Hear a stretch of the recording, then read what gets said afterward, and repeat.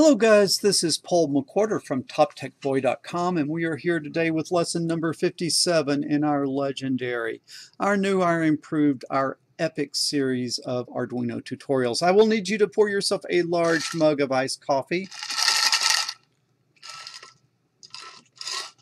I will need you to fire up your Arduino. I am doing all of the work in this uh, in this series of projects from the Elegoo or Elegoo or whatever it is called, Super Starter Kit. If you don't have one, look in the description down below. There is a link that will take you to this 35 bucks. You get a boatload of sensors and the Arduino. So get out your Arduino, fire it up, get your coffee, and let's look. I do believe in lesson number 56 I had left you with homework and what that homework was, in fact, to plot the sine wave and the cosine wave simultaneously using the Arduino uh, serial plotter. And so let's see if I can come over here and get you a good view. I do not like that view very much. Let me come here and I think I will go ahead and make this full screen. All right, so you're supposed to plot a sine wave and a cosine wave at the same time.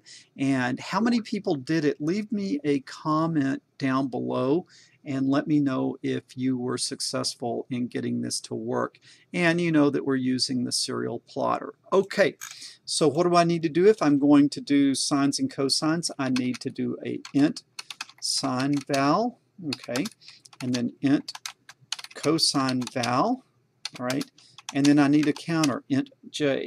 All right, so then I go to the void setup, and I better get out of your way, huh? There we go. Then I go down to the void setup serial dot begin 9600. Now I need to come to the void loop. I need to say sine val is equal to the sine of, ah, I'm sorry, I need to do a for loop. For, okay, j is equal to where does the sine and cosine wave start? At zero. And then where does it go to? Well, j is less than or equal to. Little tip, if you didn't find out this already, the Arduino works in radians, so we need not to go to 360 degrees, we need to go to 2 pi, which would be 2 times 3.1415925, something like that my obsessive compulsive is coming out to put many more, a ridiculously more number of digits to pi than what is needed. And then we're going to say j is equal to j, don't say plus 1 because then you would just get 3 points, right? you got to have j increments small so we will get a very smooth sine wave. So j is equal to j plus, let's just try 0.01. Let's see how that works, all right? Start my clause with my curly bracket. It puts the other curly bracket down there, the closing one for me. So now I will say sine val is equal to the sine of j, my counter. And then cosine val is equal to cosine of j, little j, my counter.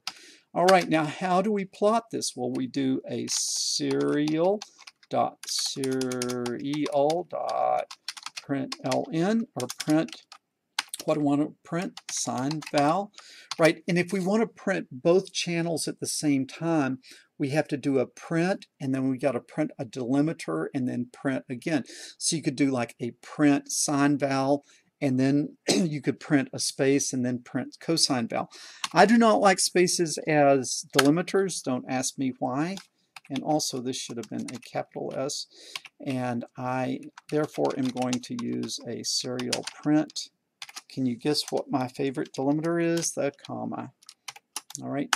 And print comma is a string then serial dot print ln and then I will print cosine val. And this has got to work right? There is no way that this would not work.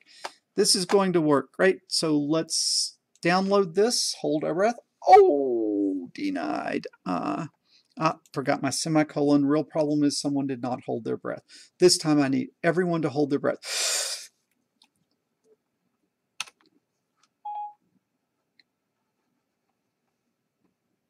Wow. You know what? I can't read your mind. Siri thinks I'm. Anyway, Siri thinks I'm talking to her. Would you shut up and go away? She did. She shut up and go away. I, I try to turn Siri off and she keeps coming back. It's like, go away. It's creepy. Go away. And then all of a sudden she starts talking to me again. Okay, but I digress. Let's download the program. Oh. Okay, I think it's going to work. All right, so now how do we look at our plotted data? We come up here to serial plotter, call it up, and let's watch. Huh? Does not look like a sine wave. Okay, somebody tell me what I did wrong. Why is this not working? I'm getting a 1 and a 0. Hmm. Sounds like what? You guys pause, figure out what the problem is, then come back and tell me. Did you all figure it out? Huh? Okay, how did we declare our sine val and our cosine val? As ints. Does the sine and cosine curve go from minus 1 to 0 to 1? No, it's the in-between values. What should we have declared this as? As real numbers, which in Arduino land is called a float. A real number, which is the in-between numbers, is a float. So we did the wrong variable declaration, and that was our problem. Now we're fixed, right? Yes, we did not even hold our breath because of our confidence. So we will fire up the, whoa. Okay, so we got to kill the serial plotter first. We have to kill it, and now we will start it again. Uh, and what did I do? I did the serial monitor instead of the serial plotter. Okay. Serial plotter. Oh, it's still doing it. Okay. Pause the video and tell me why it's not working. Actually, these mistakes I make on purpose because I teach high school and I see some mistakes over and over and over. And sometimes I deliberately do the mistakes so then you can see how to debug them. And this is the case. What is the problem? we made int a j. I mean, we made j an int, our counter down here, and we say start at j equals 0. That's good. And then we say j is equal to j plus 0.01. That's going to stay where? That's going to stay on 0 because, you know, an int plus a float is going to be 0 if that float is less than 1. So it's rounding to 0, and we're just stuck at 0. And sine of 0 is 0, and cosine of 0 is 1, and that's why we are flatlining on those values. How do we fix that? We make this a float. Now, we are going to download it. We're going to sip our coffee. And then we are going to come and we are going to look at our serial plotter. boom, sine wave, cosine wave at the same time. A sine wave and a cosine wave at the same time. All right, guys, the I like this because the serial plotter is just so, so easy. The thing that annoys me is you really don't have any ability to change that scale and so it's auto scaling between 5 and minus 5. There's absolutely no reason for it to be auto scaling between those values and that just really annoys me because I would like it to go from like 1.5 to minus 1.5, but there's, as far as I can tell, short of uh, modifying the source code, I do not know of any way to keep that thing from auto scaling. So let's see, it's also kind of interesting. What if we said sine val is sine of j and cosine val is 2 times cosine of j? Let's download that. What's going to happen? Pause it, tell me what's going to happen before we bring it up. Did you figure it out what is going to happen?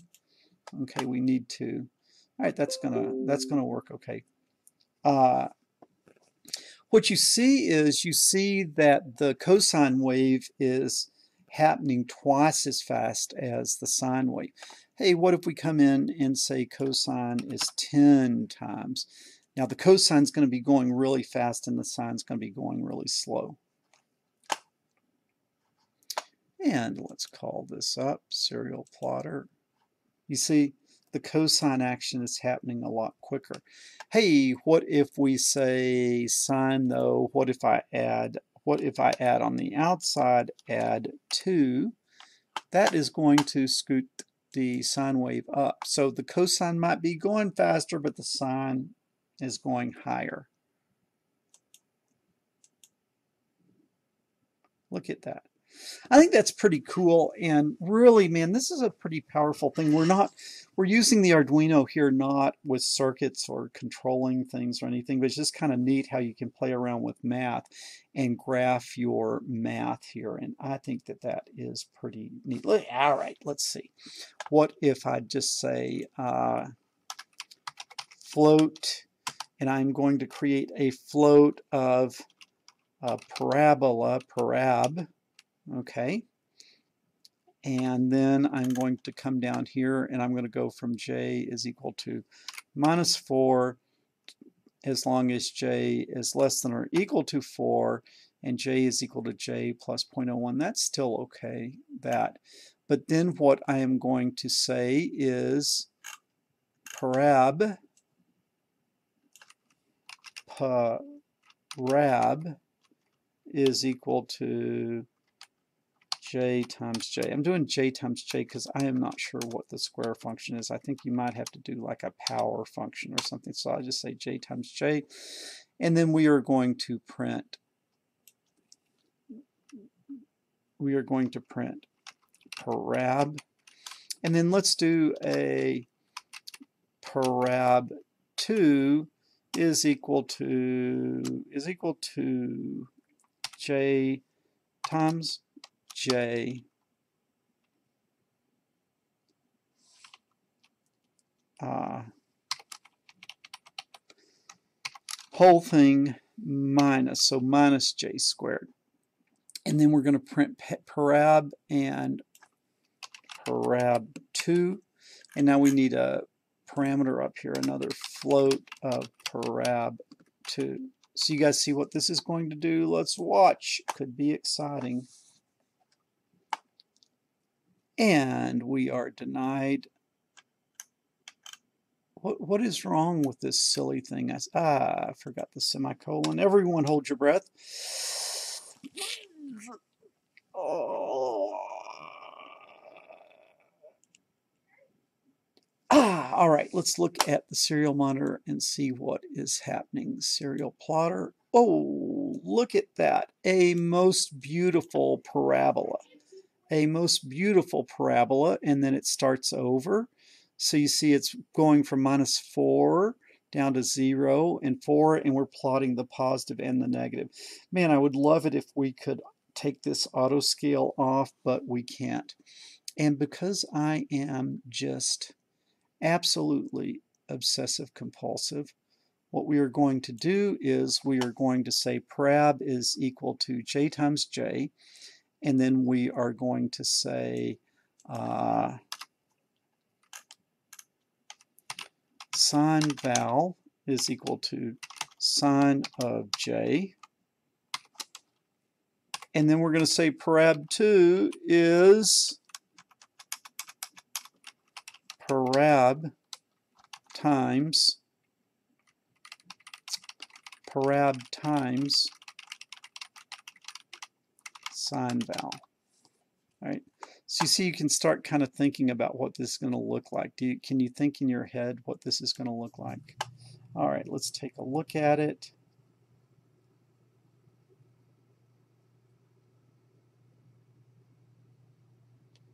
And we'll call this up.